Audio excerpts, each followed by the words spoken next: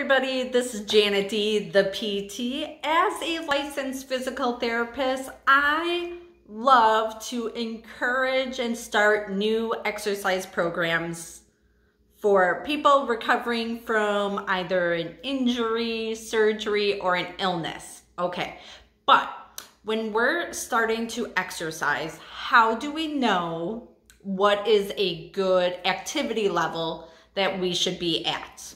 Okay, guess what?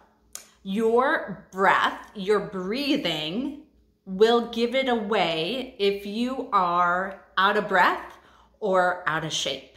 Okay, so when we're going to exercise, right? If you're able to talk comfortably, steady, have a full conversation with your exercise partner, coach, therapist, hey, that's a good level, right? All right.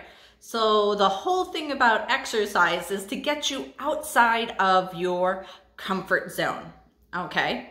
So then we start doing either increasing the weight, the resistance, or the time, the duration, right? Okay. So we're changing one of those variables and you're exercising. Guess what?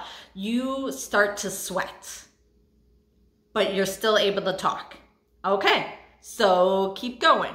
All right, so we're still exercising, right? And we're able to talk, but uh, uh, we're starting to get a little bit of breathlessness. Okay, guess what? This tells us we're at a good level, but can we sustain that?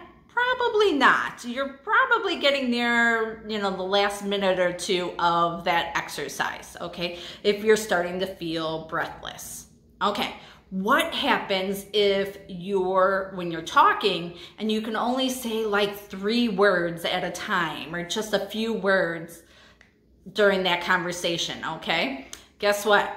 That's when it's starting to show, all right, like, I'm kind of beyond my exercise tolerance if I can only go, yeah, yeah, yeah, yeah, okay. Then guess what? When we start getting into grunting, mm, mm, yeah, mm-hmm, uh-huh, uh-huh, and mm, while we're exercising, guess what? We're at the higher level of what we can really tolerate. And guess what? Our body is telling us, are you gonna stop? Like, can we get take a break? This is what we need to do, right?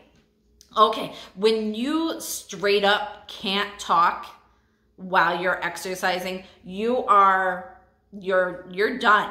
Your your your body is like just trying to go into like protective mode of all right, let me know when you're done exercising because like I can't chew gum and walk and talk at the same time. Like that's your body's trying to, that's your body's signal that, hey, I need to stop.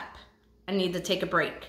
Uh, let me like get my heart rate back down, okay? So when you're feeling that breathlessness during an exercise, that's your body trying to tell you, okay, am I out of breath or out of shape?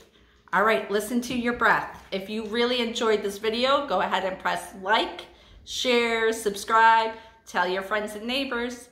Janet Dee, the PT.